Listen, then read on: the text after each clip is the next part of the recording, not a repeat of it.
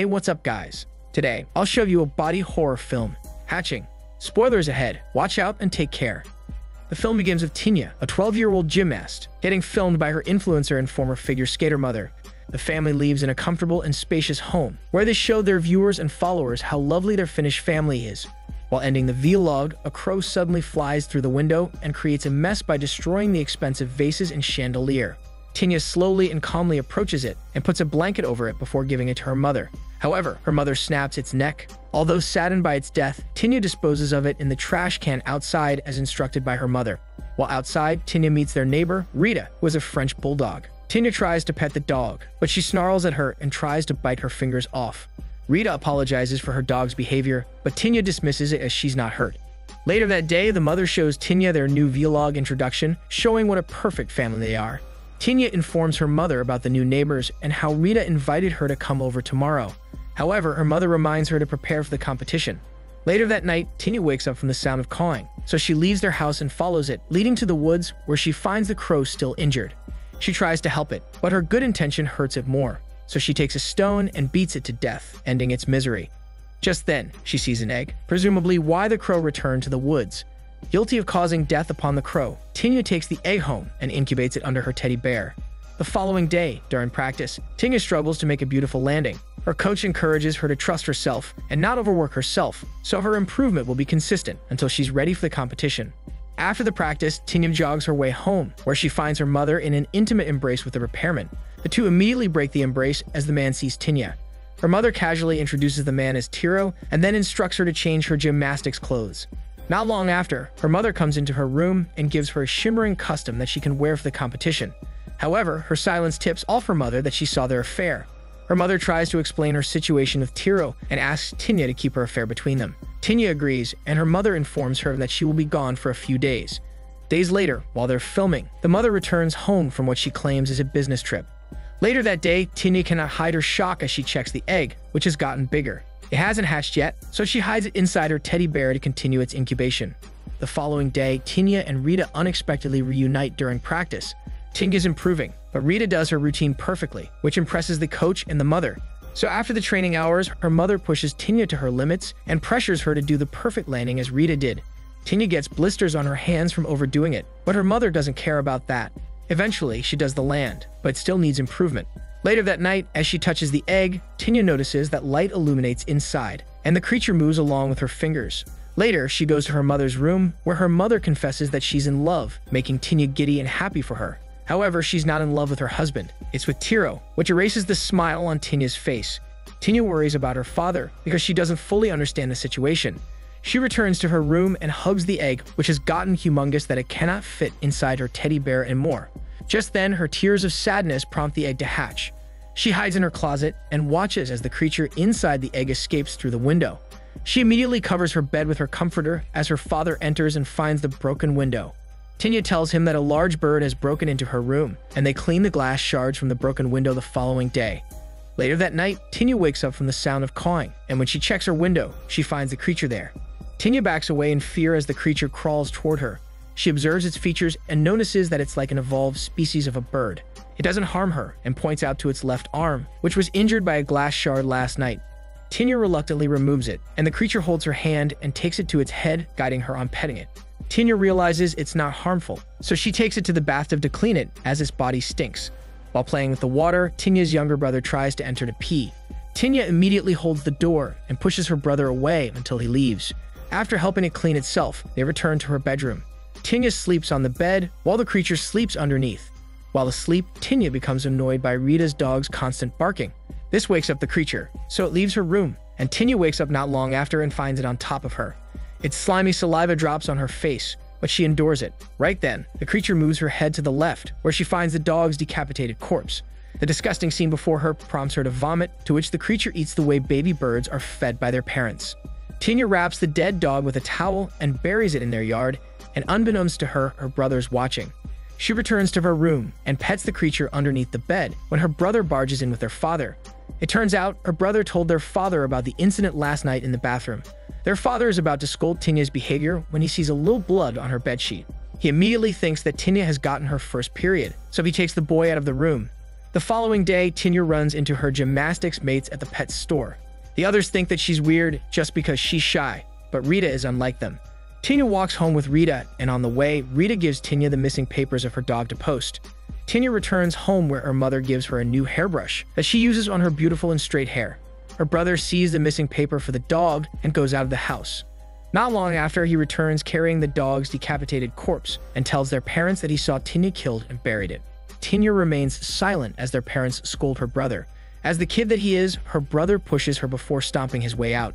Tinya's fallen to the floor, wakes up the creature, and her brother sees its silhouette moving in her room.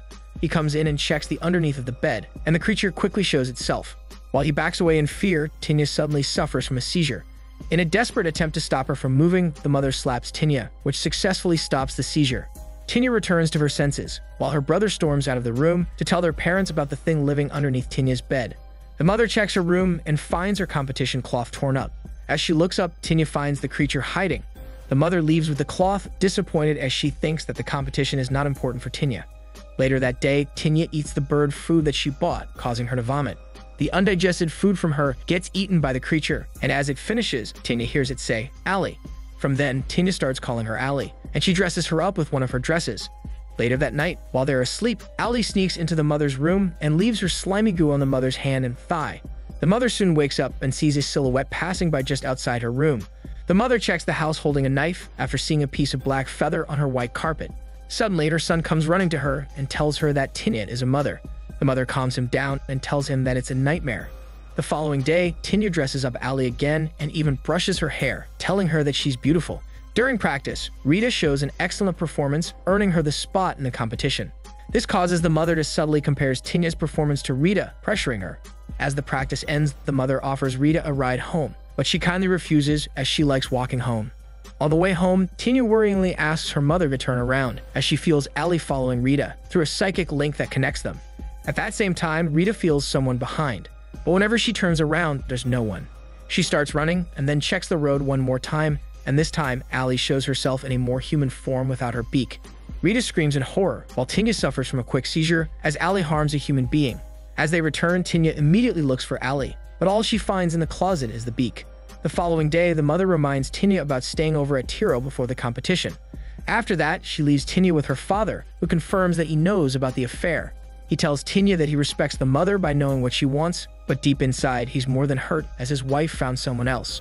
They soon arrive at Tiro's home, where Tinya learns that he's a widower with an infant named Helmi. The mother holds the baby in her arms, like Helmi came from her. Later that night, Ali shows up outside her door, so Tinya lets her in. As they sleep together, Tinya cannot help but notice that Allie's becoming more human with her stance and blonde hair. The following day, Tiro makes Tinya comfortable in his house and even makes her laugh. Later that day, she visits Rita in the hospital and notices that she has severe injuries, especially her amputated left hand. Rita suddenly grabs her arm and lets out a terrified scream that scares her, so she breaks free and runs away, while Rita continues to scream. As soon as they return home, Tinya locks herself in her room and breaks down into tears as she realizes what Ali had done to Rita. She screams at Ali, scolding her for her impulsive actions, and then she repeatedly hits herself in order to hurt Ali because of their psychic link. Ali stops her before she can hurt both of them anymore and lets her cry in her arms to calm her. Tinya wakes up not long after and notices that Ali is beginning to look more like her. She leaves her room and goes to the workshop where she finds Tiro. He gives her a pair of grips with her name engraved on them so she can wear them for the competition. As she's comfortable around him, Tinya shows him how to do different types of cartwheels, but she constantly fails with aerial. Tiro stops her before she can hurt herself, and he knows from the look on her face that she's only doing gymnastics because of her mother's pressure on her. To ease her, Tiro tries out the cartwheel and laughs at himself when he fails. Just then, they hear Allie making a bird sound, so Tinya immediately excuses herself. Tiro follows her not long after. When Tinya refuses to talk to him, he forces the door to open only to find Allie eating Tinya's vomit. This causes her to charge at him, but Tinya on the side immediately closes the door, injuring Tiro's hand in the process. Tinya hides behind the door, so Tiro thinks Allie is Tinya. Shortly after, while he's wrapping bandages around his injured arm, Tinya comes out. She apologizes for what happened and tells Tiro that she can take the bus home, so he will never see her again. Tiro calmly refuses that and claims there's no need for it but he suggests talking about her strange behavior with the mother. Tinya immediately pleads with him not to. Tinya is about to tell him about Allie when her mother comes in to fetch her for the competition. Tiro lies to her and says that he injured himself while working in the workshop. During practice outside, Tiro cannot help but notice how perfectionist and strict Tinya's mother is when it comes to Tinya. But when it comes to Helmi, she's very lovable and sweet. As Tinya observes them, she sees Ali standing by the window, so she repeatedly asks her mother to take Helmi with them, but she refuses. While at the venue, Tinya cannot help but be worried for Helmi.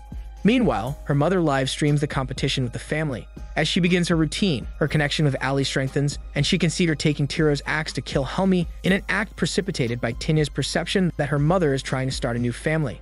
Ali is about to kill Helmi when Tinya sabotages herself by injuring her wrist, stopping Ali in the process. Tiro sees Ali in Helmi's room, but she quickly flees through the door before he can catch her. Tiro holds Helmi in his arms, worried and scared. As soon as they return to his house, Tiro ends his relationship with the mother because he believes that Tinya has some serious problems, thinking she's Ali. The mother tries to work things out, but she soon enters the car angrily and suddenly hits her face on the steering wheel. She begins to bleed, but she drives and comes home like nothing happened. Ali follows them, but Tinya pushes her away, refusing to let her come in. After that, she observes as her mother tries to maintain their family image on camera, but she fails miserably. Meanwhile, the father accidentally finds Ali outside and lets her come into Tinya's room, believing that she's Tinya. While she's cleaning herself, the mother enters her room and finds Ali in the closet. Thinking she's Tinya too, the mother starts brushing her hair, but then she uses too much force that she accidentally chunks off Ali's hair. The mother backs away in terror, but Ali embraces her and dugs her nails on her back, causing Tinya to hear them. Tinya rushes to remove Ali from her mother. As they stand side by side, the mother notices the uncanny resemblance.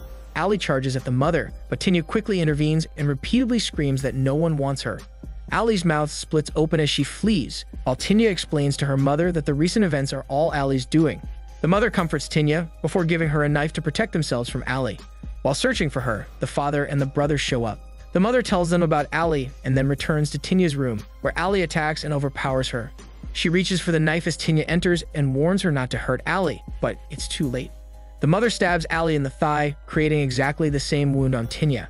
Realizing that she may die if Ali does, Tinya blocks the next stab, but the knife goes straight to her heart. In shock, the mother removes the knife, causing Tinya to fall over Ali. Surprisingly, Ali takes some of Tinya's blood, transforming her pupils to fully look human, and heals the opening of her mouth. The film ends with the mother breaking down into tears as she realizes that she just killed the perfect daughter she could ever have. Meanwhile, Ali stands before the mother, representing everything she hates and dislikes as a perfectionist and feigned influencer. The way Ali turns into Tinya tells exactly how Tinya has been forced to change from a timid and obedient girl into a girl full of hatred and indifference. This is Daniel CC Movie Channel. Stay safe and enjoy your day.